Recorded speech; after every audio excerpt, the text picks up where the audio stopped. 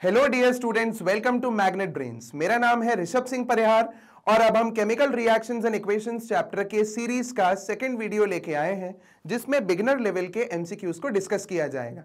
जैसा कि one shot video हम लोग ऑलरेडी देख चुके हैं और उसमें हमने पूरे चैप्टर की समरी की थी। अब उस नॉलेज को यहाँ पे कैसे अप्लाई करना है, वो हम यहाँ पे देखने वाले हैं। एक चीज़ मैं आपको पहले ही क्वेश्चन स्टार्ट करने से बता दूँ कि ये बिगनर्स लेवल है। यहाँ पे लेवल ऑफ़ क्वेश्चंस जो है वो इजी रहेगा। तो आपको ऐसा लग सकता है कि ये क्वेश्चन हमसे बड़े आसानी से बन रहे हैं पर नहीं ऐसा नहीं होता। वहाँ पे कई जगह पे कुछ वर्ड्स होते हैं जिन पे ध्यान रखना होता है और उसके बाद ही हमें उसको आगे लेके क्वेश्चन को आगे बढ़ना होता है क्योंकि एमसीक्यू बेटा अगर एक बार आ, टिक कर दिया एबीसीडी पे एक बार सर्कल कर दिया तो उसके बाद फिर आ, आप उसे चेंज नहीं कर सकते। तो इसलिए to be very like you have to be very specific while selecting the correct option so चलिए स्टार्ट करते हैं हम अपने बिगनर्स लेवल एमसीक्यू के साथ। यहाँ पे सबसे पहला question which among the following statements is are true exposure of silver chloride to sunlight for a longer duration turns grey due to इनने क्वेश्चन में बोला है कि सिल्वर क्लोराइड जो केमिकल होता है विच इज़ हमारा एजीसीएल सिल्वर क्लोराइड इसको वो ये बोल रहे हैं कि जब आप सनलाइट में एक्सपोज करते हो तो क्या होता है? उसमें ग्रे कलर क्यों आता है? तो ऑप्शंस हैं the formation of silver by decomposition of silver chloride यही चीज़ होती है कि जब सिल्वर क्लोराइड को आप सनलाइट के आ, को पास कराओगे सनलाइट को उसके ऊपर डालोगे तो क्या होगा? सिल्वर बनेगा और क्लोरीन गैस निकल के चली जाएगी। तो इसकी बैलेंस्ड इक्वेशन होगी two AG C L gives two AG plus C L two तो इसमें हमें क्या मिल रहा है? जो सिल्वर कलर मिल रहा है वो यहाँ पे एजी के कारण आ रहा है। तो मेरा ऑप्शन है the formation of silver by decomposition of silver chloride ये पॉइंट सही है। बट क्योंकि हम देख सकते हैं कि नीचे और भी ऑप्शंस का कॉम्बिनेशन है तो उसको हमें ध्यान रखना है। आगे देखिए। Sublimation of silver chloride silver chloride का सब्लिमेशन यहाँ पे नहीं हो रहा है। Wrong decomposition of chlorine gas from silver chloride decomposition chlorine gas का हो रहा है but grey colour chlorine gas के कारण नहीं आ रहा। तो ये option wrong. Next, oxidation of silver chloride. Silver chloride का ऑक्सीडेशन नहीं हो रहा है यहाँ पे, उसका डिकम्पोजिशन हो रहा है। तो यहाँ पे हमारा सिर्फ़ एक ही ऑप्शन सही है। दैट इज़ फ़र्स्ट ए तो सिर्फ़ एक यही ऑप्शन सही है यहाँ पे, हम टिक उस पर लगा देंगे।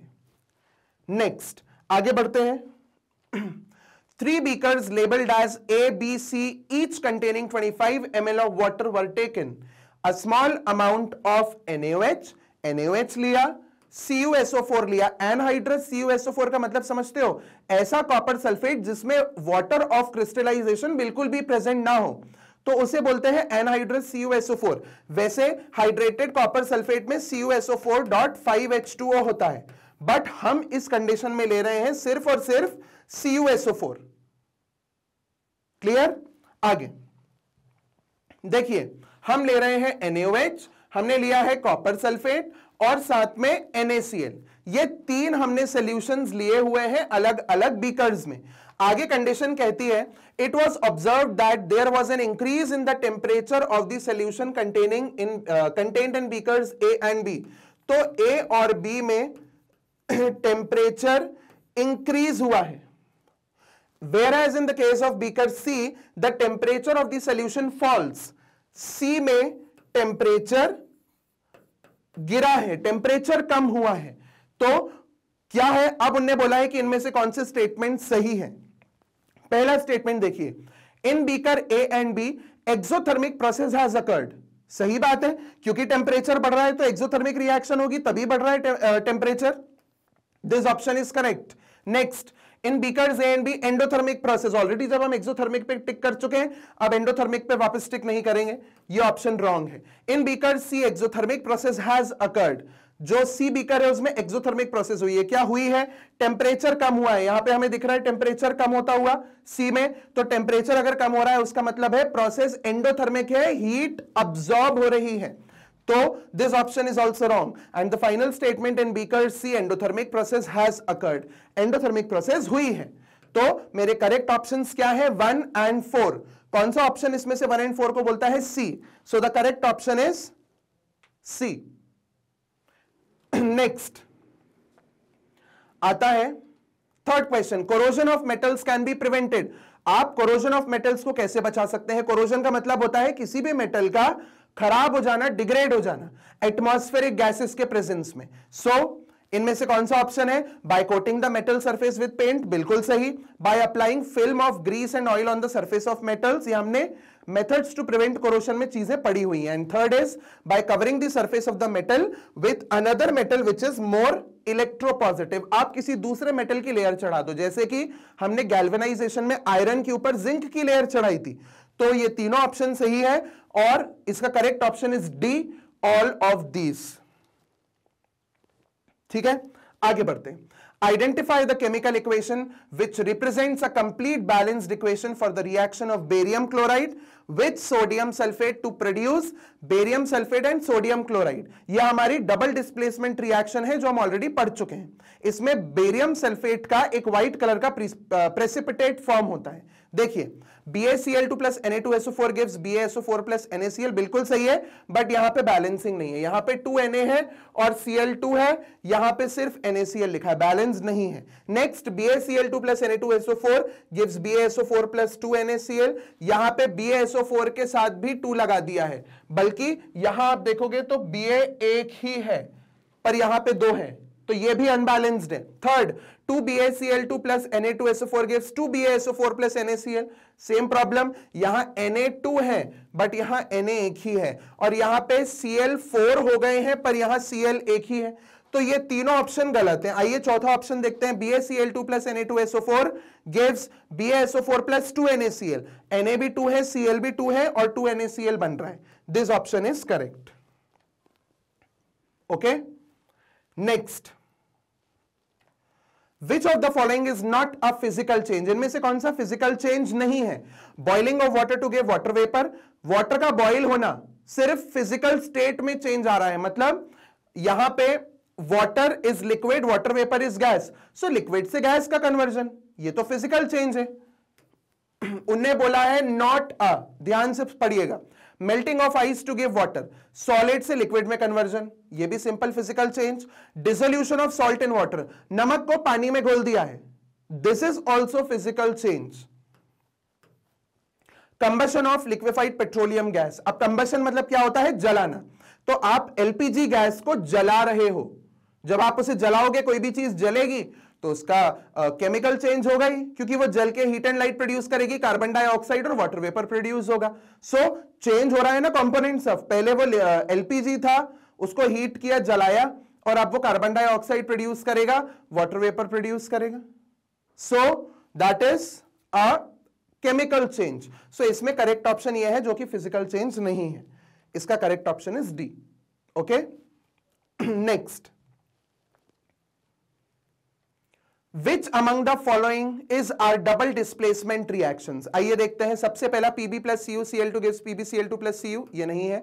N A two SO four plus B A C L two gives B A SO four plus two N A C L ये है, हमने अभी पढ़ा है। C plus O two give CO two ये कंबशन रिएक्शन है। C H four plus two O two give CO two plus two H two O ये भी मीथेन की कंबशन रिएक्शन है। अब हमें क्या दिख रहा है? एक पीबीसीएल टू वाला केस है। हाँ ये पीबीसीएल टू जो है ये हमारा बता सकता है कि भाई ये डबल डिस्प्लेसमेंट रिएक्शन हो सकती है। इसको अगर हम देखें तो लेड और लेड और कॉपर क्लोराइड रिएक्ट होके PbCl2 प्लस Cu बना रहा है। PbCl2 यहाँ पे हमारा ऑप्शन है। So the correct option would be BSO4 because PbCl2 does not produces a precipitate जो हमने यहाँ किया था वो बिल्कुल सही है। आपका lead chloride does not produce a precipitate so the correct option is N A two SO four plus B S only this आइए चेक करते हैं। Yes it is the correct option ठीक है? आगे बढ़ते हैं हम।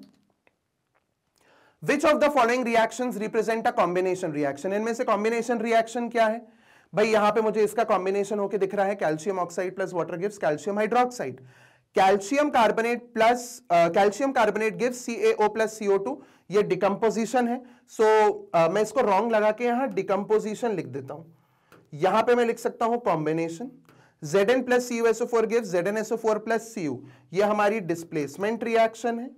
यहाँ पे एक क्रॉस लगा देते हैं. F E SO four gives F E two O three plus SO two plus SO three ये डिकम्पोजिशन रिएक्शन है। सो so, अब हमें क्या चाहिए हमें यहाँ पूछा है कॉम्बिनेशन रिएक्शन हमारा A option is correct okay next Which of the following observation help us to determine that a chemical change has taken place? इनमें से कौन सा ऐसा ऑप्शन है जो हमें यह समझाता है कि भाई केमिकल चेंज हुआ है? कैसे पता चल रहा है? चेंज इन टेम्परेचर बिल्कुल सही। चेंज इन कलर बिल्कुल सही। इवोल्यूशन ऑफ़ गैस बिल्कुल सही। ये तीनों ऑप्शन हमें बताते हैं। Correct option is all of these तो ये हो गया मेरा option D okay next which of the following is are endothermic processes जिसमें एनर्जी अब्जॉर्ब हो रही है ऐसी process dilution of sulphuric acid sulphuric acid का डाइल्यूशन मतलब पानी मिलाना।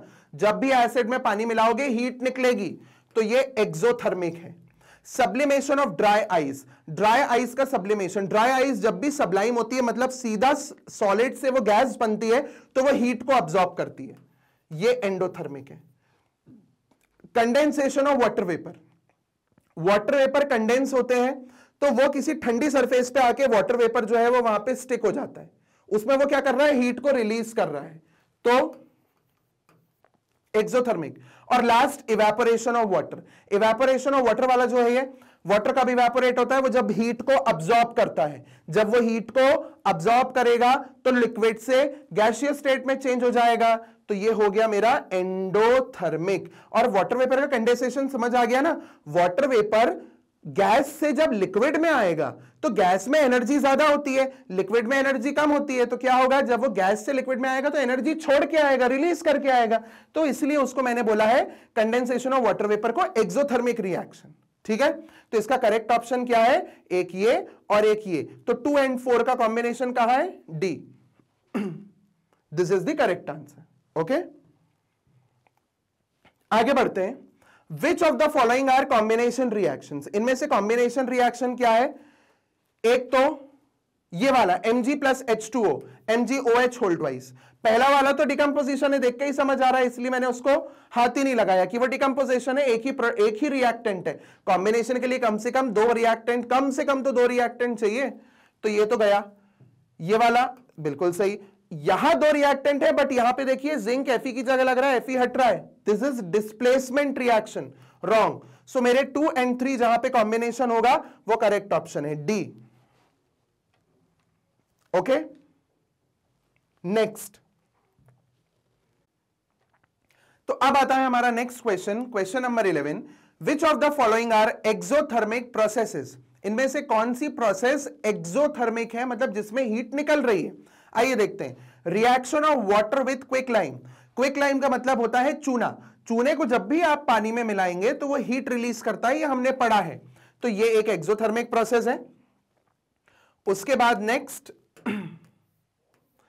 dilution of an acid जब भी आप एसिड को पानी में मिलाएँगे हीट निकलेगी। एक्सोथर्मिक की तो पूछा है, इसको भी टिक करेंगे। इवेपोरेशन ऑफ़ वाटर में हीट अब्सॉर्ब होती है। Sublimation of camphor sublimation of camphor समझते हो? कपूर का जलना। कपूर तभी जलेगा जब वो हीट को अब्सॉर्ब करेगा, जब वो हीट लेगा। तो इसीलिए वो एक एंडोथर्मिक प्रोसेस है। तो ये दो एंडोथर्मिक है, दो एक्सोथर्मिक है। तो वन एंड टू इसमें करेक्ट ऑप्शन हमारा ए है। आगे बढ़ते हैं हम। Next which one of the following processes involve chemical reaction इनमें से कौन सी प्रोसेस केमिकल रिएक्शन को इन्वॉल्व करती है? सबसे पहला storing of oxygen gas under pressure in gas cylinder क्या गैस सिलेंडर में प्रेशर डाल के ऑक्सीजन को रखना इंडोथर्म केमिकल रिएक्शन है? नहीं, ये एक फ़िज़िकल चेंज है। नेक्स्ट लिक्विफिकेशन ऑफ़ एयर इसका मतलब एयर को लिक्विड बनाना। क्या ये केमिकल चेंज है? बिल्कुल भी नहीं। हम सिर्फ़ स्टेट चेंज कर रहे हैं। ये एक फ़िज़िकल चेंज है। Keeping petrol in a china dish in the open अगर आप पेट्रोल को चाइना डिश में रखोगे पेट्रोल इवेपोरेट हो जाएगा। So this is also a physical change क्योंकि सिंपली स्टेट का चेंज हो रहा है और कुछ नहीं। Next heating copper wire in the presence of air at high temperature अगर आप कॉपर को एयर के प्रेजेंस में हीट करोगे तो कॉपर ऑक्साइड बनेगी। ये केमिकल चेंज है। So option D is correct let's check option D okay next In the double displacement reaction between aqueous potassium iodide and aqueous lead nitrate, a yellow precipitate of lead iodide is formed. While performing the activity, if lead nitrate is not available, अगर lead nitrate available ना हो तो हम इनमें से कौन सा option uh, या कौन सा ऑल्टरनेट यूज़ कर सकते हैं देखो पहली चीज़ तो यह है कि इनने बोला है लेड नाइट्रेट अगर लेड का सॉल्ट नहीं है लेड नाइट्रेट नहीं है तो दूसरा लेड का सॉल्ट ले सकते हैं। तो भाई मेरे ऑप्शन में दो लेड के सॉल्ट है। दो लेड के सॉल्ट है, क्योंकि मुझे लेड आयोडाइड बनाने के लिए लेड आयोडाइड बनाने के लिए चाहिए तो लेड आयोडाइड के लिए तो ऑलरेडी मेरे पास है पोटेशियम आयोडाइड तो आयोडाइड वाला आयन वो देगा। बट लेड आयोडाइड बनाने के लिए मुझे लेड चाहिए, और लेड का सॉल्ट लेड नाइट्रेट प्रेजेंट ही नहीं है। तो क्या किया जाए? कोई दूसरा ऑल्टरनेट देख लिया जाए। अब आप ऑप्शन ए को देखोगे तो वहाँ लिखा हुआ है इनसोल्यूबल जब लेड सल्फेट इनसोल्यूबल है तो मैं कैसे उसे पानी में घोल के उसका एक्वस सोल्यूशन बनाऊँगा? पॉसिबल ही नहीं है। Lead acetate would be the best option क्योंकि ये पानी में घुलेगा, पानी में घुल के एक्वस सोल्यूशन बनाएगा लेड आयंस को प्रोड्यूस करेगा और वो लेड आयंस आयोडीन के आयोडाइड आयंस के साथ जुड़ के लेड आयोडाइड फॉर्म करेंगे। तो correct option is lead acetate okay next solid calcium oxide reacts vigorously with water to form calcium hydroxide accompanied by liberation of heat this process is called slaking of lime उनने calcium oxide को पानी में मिलाया है और बहुत heat निकली है इस प्रोसेस को स्लेकिंग ऑफ़ लाइम बोलते हैं calcium hydroxide dissolve in water to form its solution called lime water या lime which among the following is are true about slaking of lime and the solution formed इसमें से कौन से options बिल्कुल true हैं slaking of lime और इस reaction के? It is an endothermic reaction नहीं हीट निकलती है तो ये एक्सोथर्मिक रिएक्शन होगी। The pH of the resulting solution with be more than seven क्योंकि सी एच होल्टवाइज बनेगा और जो भी ओ OH वाले होते हैं, वो बेसिस होते हैं। जितने भी बेसिस होते हैं, उनका पीएच सेवन से ज़्यादा होता है। तो मेरा ये ऑप्शन करेक्ट है। The pH of the resulting solution will be less than seven ये पॉसिबल नहीं है, क्योंकि वह एसिडिक है। तो correct option two and three इसका कॉम्बिनेशन है बी पे। चेक करते हैं। बिल्कुल सही। ठीक है? आगे बढ़ते हैं।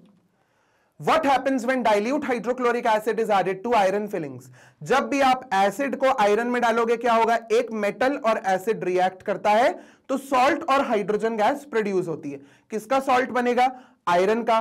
किसके साथ? HCl के। Cl के साथ तो बन गया FeCl2 और हाइड्रोजन गैस इसमें सीधा ऑप्शन देखिए कहाँ पर है। Hydrogen gas and iron two chloride are produced इसके अलावा हमें दूसरे ऑप्शन पे जाने की ज़रूरत ही नहीं है। हमारा पहला ऑप्शन ही करेक्ट स्टेटमेंट दे रहा है और कॉम्बिनेशन वाले यहाँ पे कोई ऑप्शन है ही नहीं।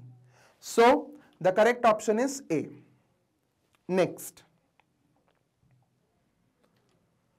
the following reaction is an example of 4NH3 plus 5O2 gives 4NO plus 6H2O पहली चीज़ तो आप ये देखो पहले हाइड्रोजन जो था, वो नाइट्रोजन के साथ था, अब हाइड्रोजन ऑक्सीजन के साथ है। मतलब ऑक्सीजन ने नाइट्रोजन को वहाँ से हटा दिया है, पहली चीज़। दूसरी चीज़, यहाँ पे रिडक्शन ऑक्सीडेशन भी हुआ है तो एक रिडॉक्स रिएक्शन भी है। तो क्या मैं इसको बोल सकता हूँ कि यहाँ पे डिस्प्लेसमेंट हो रहा है, और यहाँ पे रिडॉक्स हो रहा है? क्योंकि ऑक्सीजन ने नाइट्रोजन को हटाया है। पहली चीज़ और दूसरी चीज़, यहाँ पे ऑक्सीडेशन रिडक्शन रिडॉक्स भी हो रहा है। तो ऑप्शन वन एंड थ्री जिस भी कॉम्बिनेशन में होंगे, वहाँ पे हम उसे टिक करेंगे। सी चेक करते हैं। The correct option is C आगे बढ़ते हैं। Next in which of the following equation the mass is not same on both the sides इनमें कौन सी ऐसी इक्वेशन होती है जिसमें मास दोनों साइड पे इक्वल नहीं होता। वो अनबैलेंस्ड इक्वेशन होती है और अनबैलेंस्ड इक्वेशन को हम और स्केलेटल इक्वेशन नाम देते हैं। तो यहाँ पे सीधा सीधा ऑप्शन लिखा हुआ है स्केलेटल इक्वेशन ठीक है? आगे। आगे बढ़ते हैं। तो अब आता है हमारा next question that is corrosion of metals can be prevented हम मेटल्स के कोरोजन को कैसे प्रिवेंट कर सकते हैं? पेंट अप्लाई करके, बिल्कुल सही पॉइंट है। ग्रीस और ऑयल अप्लाई करके यह भी सही पॉइंट है। By covering the surface of the metal with another metal आपने पढ़ा है कि गैल्वेनाइजेशन जो होता है गैल्वेनाइजेशन का मतलब होता है कि आयरन के किसी आर्टिकल के ऊपर हम लोग जिंक की कोटिंग चढ़ाते हैं। तो वो तीसरा पॉइंट जो गैल्वेनाइजेशन ये जो थर्ड पॉइंट बोलता है, वो गैल्वेनाइजेशन का पॉइंट है, ये भी सही पॉइंट है। तो इसका करेक्ट ऑप्शन होगा all of these option D ठीक है? चलिए नेक्स्ट आगे बढ़ते हैं। Nineteen question oxidation is a process which involve oxidation ऐसी प्रोसेस है जो क्या इन्वॉल्व करती है इनमें से? एडिशन ऑफ़ ऑक्सीजन बिल्कुल सही, क्योंकि जब भी किसी भी चीज़ में ऑक्सीजन का एडिशन होता है तो उसे ऑक्सीडेशन बोलते हैं। एडिशन ऑफ़ हाइड्रोजन ये पॉइंट गलत है, क्योंकि इसे रिडक्शन बोलते हैं। और थर्ड रिमूवल ऑफ़ ऑक्सीजन इसे भी रिडक्शन बोलते हैं तो ये पॉइंट भी गलत है। तो इसका करेक्ट ऑप्शन हो जाएगा एडिशन ऑफ़ ऑक्सीजन ठीक है? चलिए चेक करते हैं। बिल्कुल सही नाइनटींथ का A is the correct option आगे बढ़ते हैं। नेक्स्ट आता है twenty question observe the given figure and identify the correct statement सबसे पहले आइए हम लोग फिगर देख लें। फिगर में क्या दिख रहा है? एनसीआरटी का एक फिगर है, जिसमें उनने मैग्नीशियम रिबन को बर्न करते हुए एक प्रोसेस दिखाई है।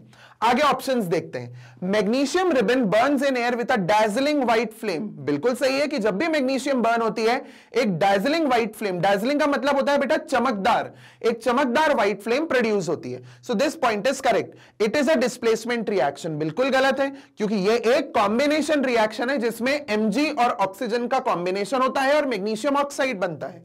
Next magnesium oxide is basic in nature and turns red litmus paper blue क्योंकि मैग्नीशियम ऑक्साइड, जो हम लोग ये बोल रहे हैं MGO this magnesium oxide is actually metallic oxide और जो मेटालिक ऑक्साइड्स होते हैं, वो नेचर में बेसिक होते हैं। तभी तो ये पानी में घुल के या पानी में डालने पे हाइड्रोक्साइड्स प्रोड्यूस करते हैं।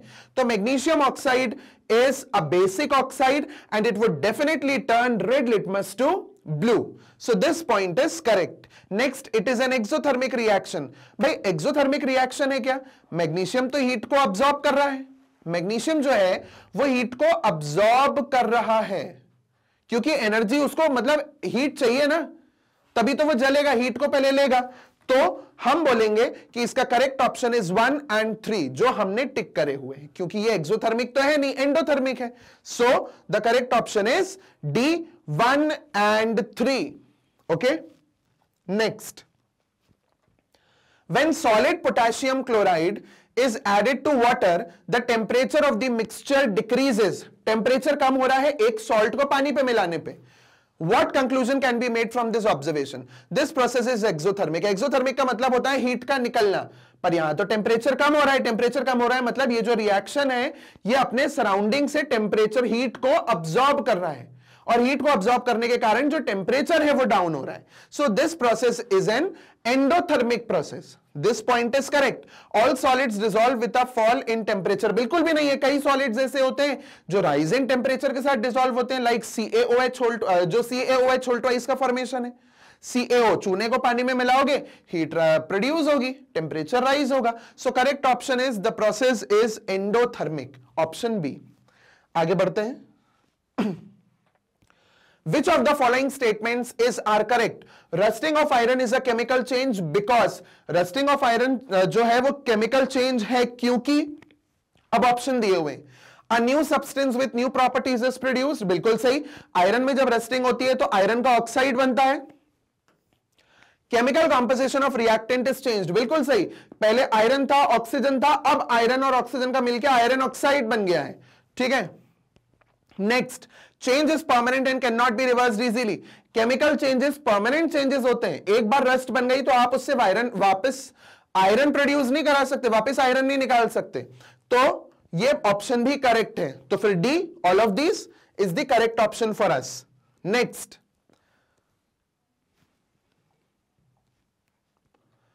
Identify the reducing agent and the oxidizing agent in the reactions 1 and 2 respectively. ध्यान से क्वेश्चन को पढ़िए इनने बोला है reducing agent और oxidizing agent in reactions 1 and 2 respectively. इसका मतलब है इसमें से मुझे reducing agent बताना है और इसमें से मुझे oxidizing agent बताना है ऐसा क्वेश्चन कह रहा है तो आगे देखते हैं MnO2 plus 4HCl gives MnCl2 plus 2H2O plus Cl2 इसमें अगर आपको याद होगा वन शॉट में हमने ये पढ़ा था कि ये हाइड्रोजन के टर्म्स में हम इसे पढ़ते हैं।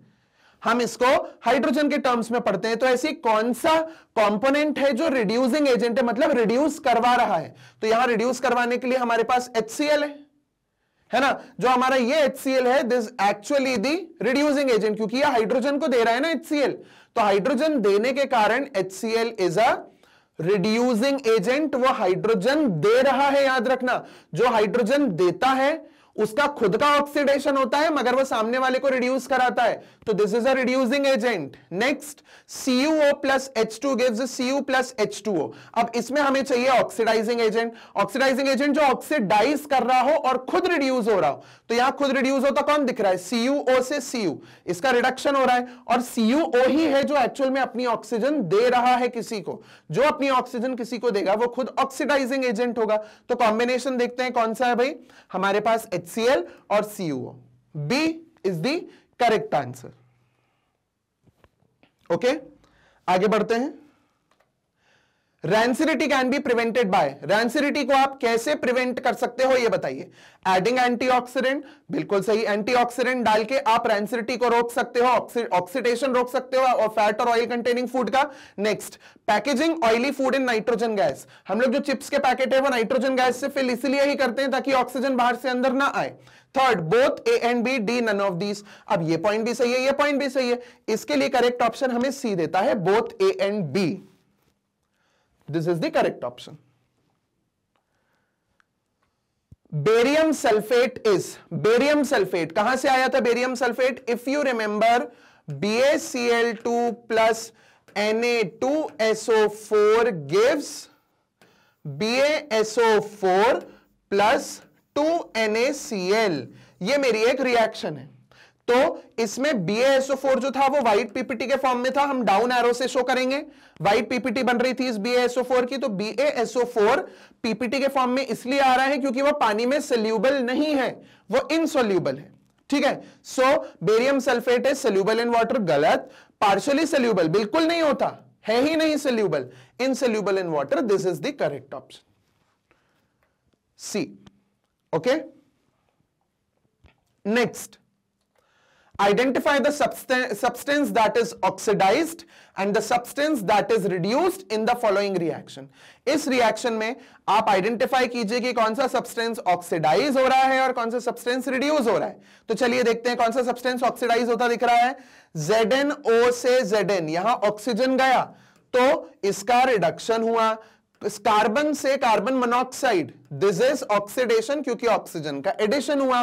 तो रिडक्शन किसका हो रहा है? जेड का और कार्बन का हो रहा है ऑक्सीडेशन ठीक है? तो हमने पहले किस चीज़ का पूछा है? ऑक्सीडाइज्ड कौन है? तो ऑक्सीडाइज्ड है carbon and the substance that is reduced in the following reaction is O so the correct option B जो हमारा लिखा हुआ, बिल्कुल उससे मैच करता है। ठीक है? C Z N O C Z N O okay next which of the following examples is a decomposition reaction इनमें से कौन सी डीकॉम्पोजिशन रिएक्शन है? इवेपोरेशन ऑफ़ वाटर ये तो फ़िज़िकल चेंज है। Next exposure of photographic film in the presence of light अगर आप फोटोग्राफिक फ़िल्म को लाइट के सामने लगाओगे तो क्या फोटोग्राफिक फ़िल्म पे डिकम्पोजिशन होगा? हमने पढ़ा है कि जो हमारा एजीसीएल और एजीबीआर है जो हमारा एजीसीएल और एजीबीआर है, ये दोनों लाइट के प्रेजेंस में डिकम्पोज होते हैं और एनसीआरटी में एक बहुत स्पेसिफिकली स्टेटमेंट दिया है that these two chemicals are use in the black and white photography क्योंकि जब लाइट के सामने ये आते हैं तो ये डिकम्पोज होते हैं और ये ब्लैक एंड व्हाइट फोटोग्राफी में कलर के शेड्स मतलब ब्लैक और व्हाइट के शेड्स देते हैं। ठीक है next heating sulphur in the presence of oxygen क्या ये डिकम्पोजिशन है? सल्फ़र को ऑक्सीजन के प्रेजेंस में हीट करोगे तो सल्फ़र डाइऑक्साइड SO2 बन जाएगा। तो ये तो नहीं है। डिसॉल्विंग सॉल्ट इन वाटर नमक को पानी में घोलना is simple dissolution of physical process so ever evaporation of water हमारा फ़िज़िकल चेंज हो गया। Exposure of photographic film in the presence of light ये हमारा केमिकल चेंज है, बिल्कुल सही। और एक्चुअल में ये डिकम्पोजिशन रिएक्शन है। Option B. Okay? Next consider the following reaction एक रिएक्शन दी हुई है, इसे कंसिडर करिए और नीचे के ऑप्शन देखिए भाई one and two are respectively जिसमें वन है, उसमें क्या हो रहा है? जिसमें टू है, उसमें क्या हो रहा है? गौर से एक चीज़ देखो, दोनों जगह पे सल्फ़र का ही हम कंसिडरेशन कर रहे हैं। यहाँ पे भी सल्फ़र के नीचे है, यहाँ पे भी सल्फ़र के ऊपर है। अब ध्यान से देखिए, वहाँ H2S से S बनना। मतलब वहाँ पे क्या हो रहा है? हाइड्रोजन का हटना। हाइड्रोजन हट रहा है और एस आ रहा है अकेला। तो दिस इज़ एक्चुअली ऑक्सीडेशन और वहाँ देखिए SO2 था SO2 से अब S रह गया है। तो ऑक्सीजन गया। ऑक्सीजन का जाना is reduction so this is reduction this is oxidation okay so one reduction and two oxidation so one reduction two oxidation this is the correct option आगे बढ़ते हैं। Next iron nails were dipped in a solution kept in a test tube after half an hour it was observe that the colour of the solution has changed from blue to green एक reaction हुई है किसके बीच में? Iron nails के बीच में। और एक solution. कोई भी एक सोल्यूशन है एक्स फॉर एग्ज़ाम्पल इन दोनों के बीच में एक रिएक्शन हुई है जिसमें कलर ब्लू से ग्रीन में चेंज हो गया है। हमें कुछ तो समझ आ रहा है ब्लू कलर का सोल्यूशन किसका होता है? कॉपर सल्फेट का सीयूएसओ फोर का। सो so, अब उनने ये बोला है the solution present in the test tube was that of solution किसका था? हमने अभी देख लिया किसका था कॉपर सल्फेट तो correct option is B copper sulphate okay आगे। When petrol in the presence of oxygen gas burns inside the engine of a car, carbon dioxide in the engine becomes very high. Which of the following statements is correct? इनमें से कौन सा statement correct है कि जब भी petrol जलता है इंजन में बर्न होता है ना पेट्रोल तभी तो एनर्जी प्रोड्यूस होती है गाड़ी को बढ़ने के लिए। सो so, जब भी पेट्रोल बर्न होता है कार्बन डाइऑक्साइड इंजन में बढ़ जाती है। अब इनमें से कौन सा स्टेटमेंट सही है उस चीज़ को लेके? The burning of petrol is an example of a physical change बिल्कुल गलत। बर्निंग तो केमिकल चेंज होता है। Heat energy is taken out from the surroundings heat energy को सराउंडिंग्स में से लिया जाता है। नहीं भाई oxygen and petrol are the reactants in this process हाँ ठीक है, बिल्कुल सही है। This process is triggered by light energy क्या लाइट एनर्जी से गाड़ी चलती है? भाई लाइट एनर्जी से चल रही होती तो आपकी सोलर पावर्ड व्हीकल होती, पर ऐसा तो नहीं है। तो oxygen and petrol are the reactants in this process is the correct statement as we have decided okay next the correct formula of rust specifically अगर आप वन शॉट वीडियो देखेंगे तो उसमें रस्टिंग का भी मैंने पूरा इक्वेशन समझाई है, और वहाँ पे रस्ट का फॉर्मूला दिया है, अगर आपको याद हो तो actually this is the correct formula of rust okay कोई तीसरा, दूसरा ऑप्शन ही नहीं है ना हमारे पास। दूसरा, तीसरा, चौथे पे जाना नहीं है, जब करेक्ट ऑप्शन हमें दिख रहा है वहाँ पे, है ना? आगे बढ़ते हैं। The solid residue obtained on heating ferrous sulfate in a glass tube is, जब आप फेरस सल्फेट को ग्लास ट्यूब में हीटिंग करते हो तो क्या मिलता है? हमको ऑक्साइड मिलती है। जब भी हीटिंग होगी भाई, सामने वाली चीज़ ऑक्सीजन के साथ ही तो रिएक्ट करेगी। ये तो गया। ये करेक्ट है। ये रॉन्ग है। ये रॉन्ग है। Ferric ferrous oxide and ferric oxide क्या फ़र्क है? फेरस ऑक्साइड फेरिक ऑक्साइड में हमारा ferric oxide is the correct F E two O three F E three O four होता है क्योंकि वो। This is F E three O four ठीक है? देखिए।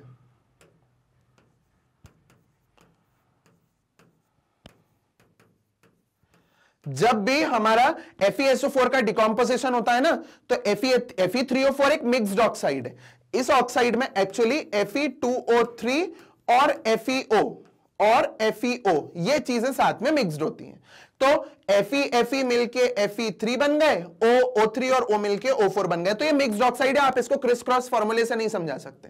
ठीक है? तो इसलिए फेरिक ऑक्साइड बनता है which is not a mixed oxide वही हमारी सिंपल ऑक्साइड है। ये मिक्सड ऑक्साइड है। मिक्स ऑक्साइड का फॉर्मेशन यहाँ नहीं होता। हीटिंग करोगे एफ़ टू ओ थ्री बनेगा। ठीक है? तो F two O three is the correct option आगे। Which of the following is not a chemical reaction इनमें से कौन सी केमिकल रिएक्शन नहीं है? Souring of milk souring of milk का मतलब समझते हो क्या है ये? सोरिंग ऑफ़ मिल्क का मतलब होता है मिल्क का दूध का फट जाना। दही बन जाना उसका। तो that is souring of milk तो बिल्कुल सही है ना भाई? ये तो एक केमिकल रिएक्शन है।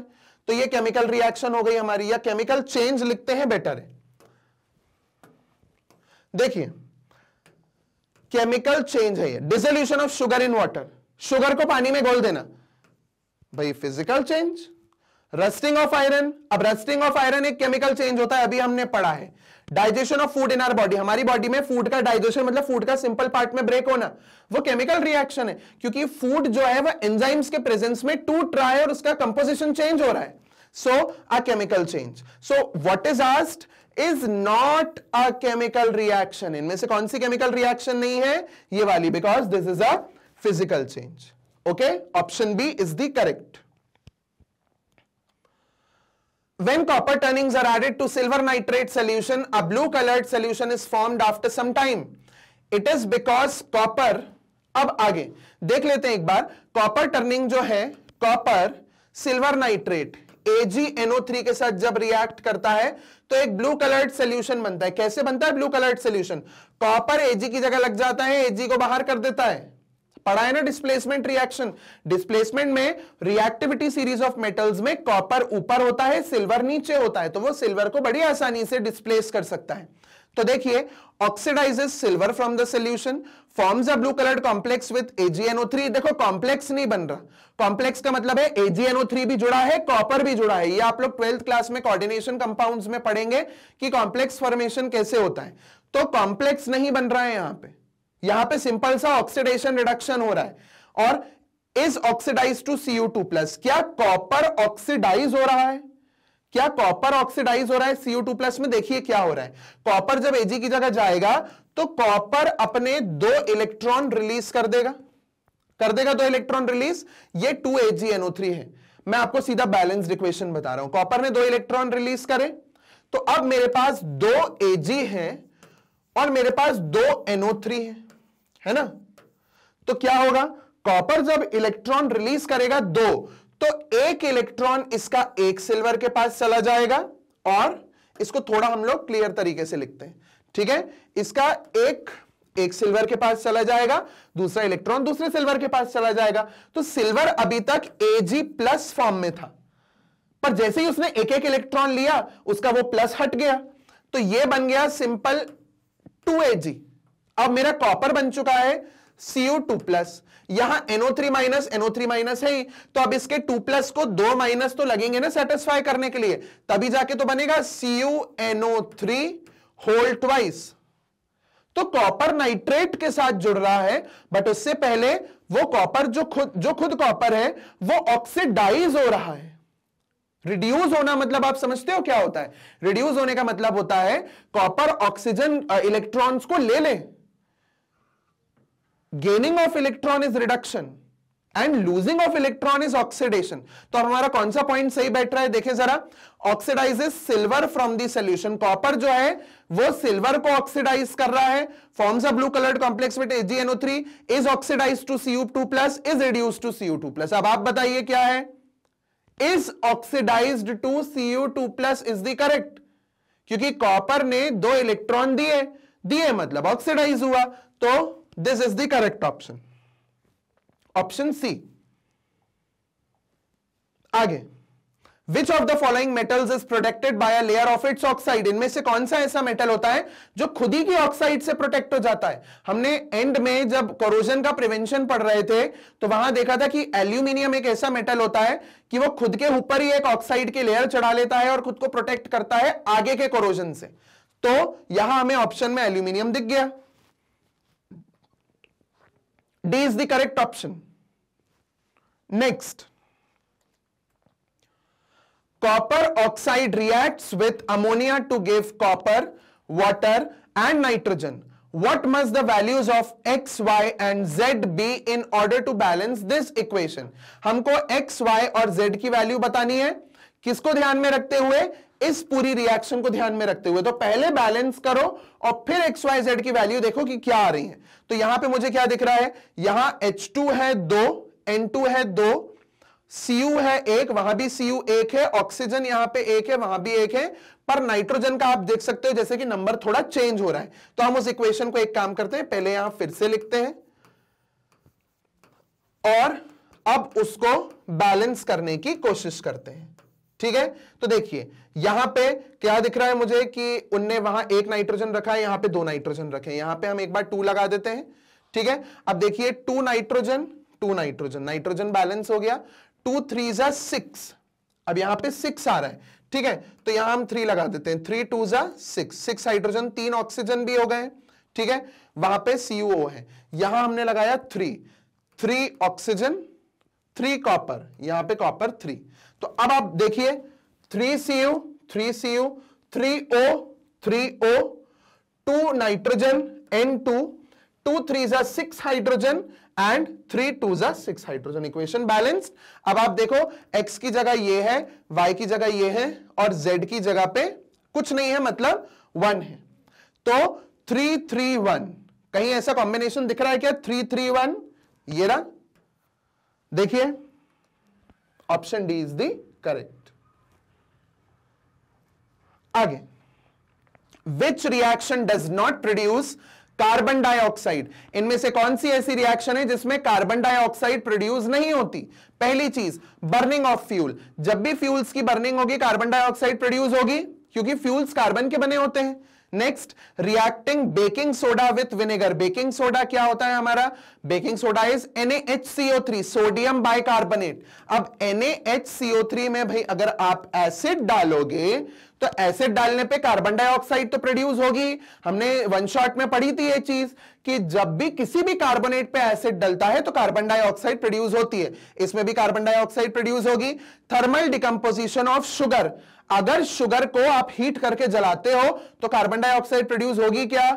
शक्कर को गर्म करने में हीट करने में कार्बन डाइऑक्साइड नहीं प्रोड्यूस होती। नहीं होती प्रोड्यूस और रेस्पिरेशन रेस्पिरेशन हमारी बॉडी में होता है। हम लोग सांस में बाहर कार्बन डाइऑक्साइड ही तो छोड़ते हैं।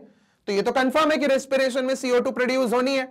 तो द करेक्ट ऑप्शन इज़ यहाँ देखिए पहले क्या लिखा है? नॉट प्रोड्यूस तो this one is the correct option okay C next when lead nitrate crystals are heated ये डायग्राम एनसीआरटी में दिया हुआ है कि जब लेड नाइट्रेट के क्रिस्टल्स को हीट किया जाता है तो क्या होता है? जब भी हम लोग लेड नाइट्रेट के क्रिस्टल्स को हीट करते हैं तो लेड ऑक्साइड बनता है नाइट्रोजन डाइऑक्साइड गैस बनती है जो कि विजिबल होते हैं। तो लेड ऑक्साइड येलो कलर का बनता है नाइट्रोजन डाइऑक्साइड ब्राउन कलर की गैस होती है। देखते हैं हमारे रिजल्ट्स कहाँ मैच कर रहे हैं। A colourless gas is evolve and yellow residue is left behind colourless gas नहीं है गैस ब्राउन कलर की है। A brown gas is evolve and a white residue is left क्या व्हाइट रेसिड्यू होता है? नहीं, हमने तो येलो पढ़ा है। A greenish yellow gas is evolve and a brown residue is left बिल्कुल भी नहीं ग्रीनिश येलो गैस कहाँ है भाई?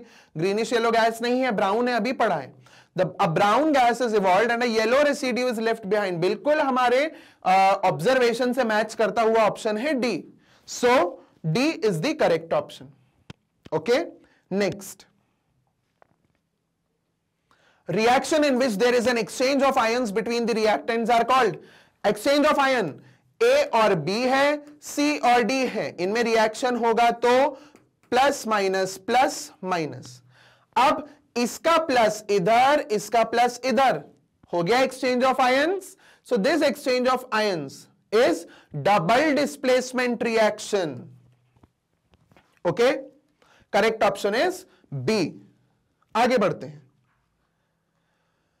Quick lime combines vigorously with water to form A which react slowly with the carbon dioxide in a to form B ये एक puzzle दिया है सॉल्व करते हैं। सबसे पहले क्विक लाइन जो है, वो पानी के साथ मिलके क्या बनाता है? वो बनाता है C A H whole twice which is slaked lime okay तो स्लेग्ड लाइम बनाता है तो हमारा ए हो गया slaked lime which react slowly with the carbon dioxide in air to form B अब ये जब कार्बन डाइऑक्साइड के साथ रिएक्ट होता है तो हमने क्या पढ़ा है? वो लाइम वाटर टर्न्स मिल्की वाला।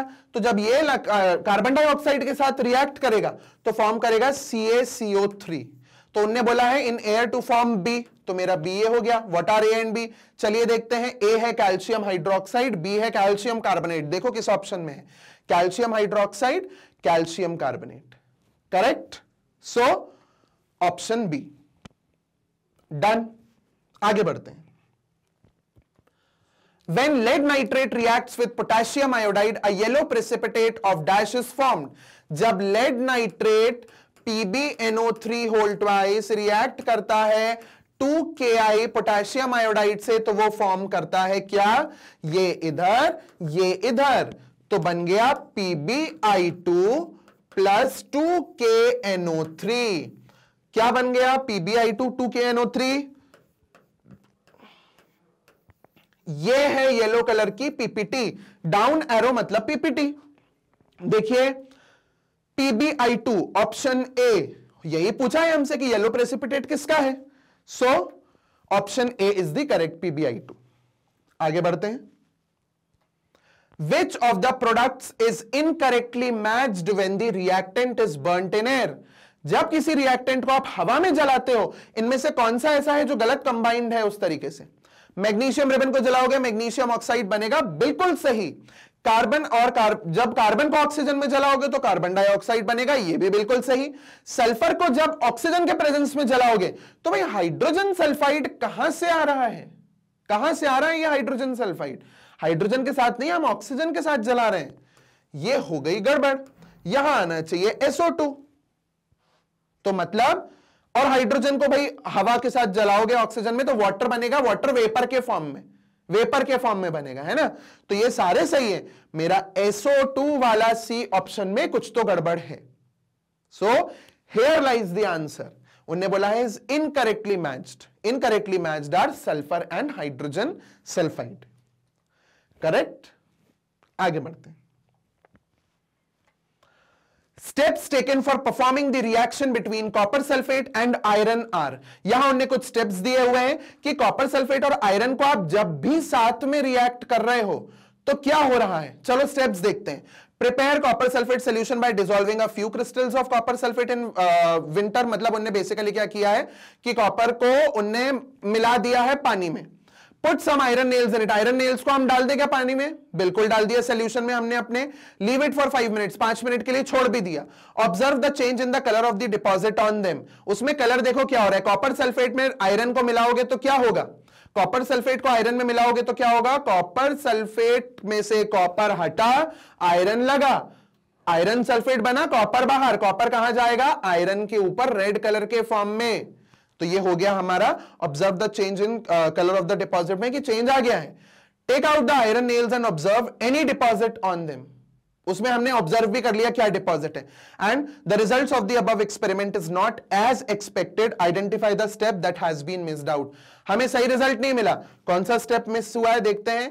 Heat copper sulphate solution before putting iron nails थोड़ा कॉपर सल्फेट को हीट कर दो। Cool copper sulphate solution before putting नहीं भाई, ठंडा तो करना ही नहीं है। स्लो हो जाएगी reaction rub the iron nails with sandpaper iron nails को अच्छे से सैंड पेपर से रब कर दो।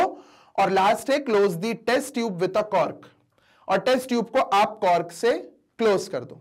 ठीक है? तो इनमें से हमारा ऑप्शन क्या आपको लगता है? कॉपर सल्फेट को हीट करना चाहिए, थोड़ा आयरन नेल्स को पुट करने के लिए। क्या ये हमारा ऑप्शन है? बिल्कुल, few crystals of copper sulphate को हमने किया है। वहाँ पे आयरन नेल्स भी डाले हैं। इसमें आयरन नेल को सैंड पेपर से रब नहीं किया। क्या फ़र्क पड़ा उससे? आयरन के ऊपर से जब भाई पूरी लेयर्स हटा दोगे, तभी तो अच्छे से रिएक्ट करेगी। फ्री आयरन मिल जाएगा। तो C option is the correct ठीक है? आगे। आगे बढ़ते हैं अब नेक्स्ट क्वेश्चन की तरफ़। In the following equation N A two CO three plus X H C L gives two N A C L plus CO two plus H two O the value of X is balance करते हैं, फिर देखते हैं value of X so देखिए N A two CO three plus X H C L मतलब वहाँ पर मुझे एच सी एल की वैल्यू चाहिए। चलिए देखते हैं। एन ए टू यहाँ टू एन ए मतलब मेरा Na बैलेंस्ड है कार्बन एक है, यहाँ भी कार्बन एक है ऑक्सीजन तीन है, दो और एक, तीन ऑक्सीजन है।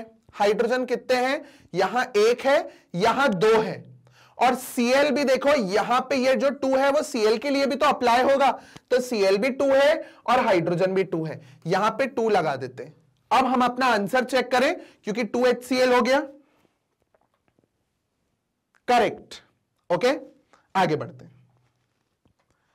observe the given figure and answer the question that follows आप फिगर को देखिए, फिर क्या ऑप्शंस हैं, उन्हें देखते हैं। सबसे पहले फिगर क्या देख के समझ आ रहा है? धूप पड़ रही है सिल्वर क्लोराइड पे।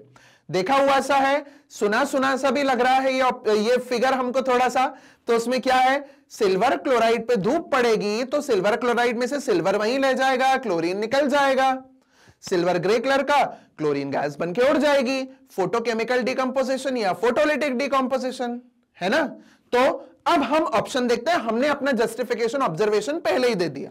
अब it is a photochemical decomposition reaction true silver chloride turns grey in sunlight to form silver metal बिल्कुल सही सिल्वर क्लोराइड डिकम्पोज होकर सिल्वर मेटल को फॉर्म करता है। It is an exothermic reaction क्या एनर्जी निकल रही है? एनर्जी तो ऑब्जॉर्ब होती दिख रही है तो ये रॉन्ग मतलब false silver bromide also behaves in the same way and use in black and white photography silver bromide भी यही काम करता है। अभी हमने पिछले क्वेश्चन में भी ये चीज़ देखी थी कि एजीसीएल एजीबीआर एक ही तरीके से बिहेव करते हैं, एक ही तरीके से रिएक्ट करते हैं। ठीक है? सो दिस इज़ ट्रू आइए अब हम अपना ऑप्शन देख लें। ट्रू ट्रू फॉल्स ट्रू इसके साथ।